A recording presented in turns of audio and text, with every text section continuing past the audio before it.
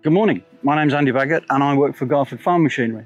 Uh, we're here at Cereals demonstrating uh, two of our uh, in-row weeders. Uh, an inter-row weeder and an in-row weeder, both camera guided. Uh, this is our six metre uh, tine raiser with section control on for dealing with headlands. Um, this one is currently set up at 250 mil row spacings, but we can build machines to whatever row spacings you want. The benefits to the hoes is weed control in cereal crops and vegetable crops, because I'm sure a lot of you out there are, struggling with uh, chemical resistance at the minute, where your weeds are just the chemicals are just not working for you, and the uh, the, the price has got to a point where they're just not affordable and sustainable, um, and you have to come up with another option.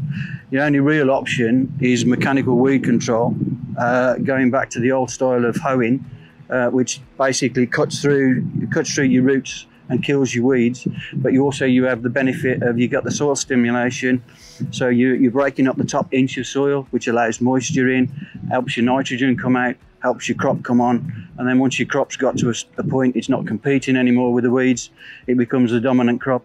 Uh, you get a uh, increased um, crop output.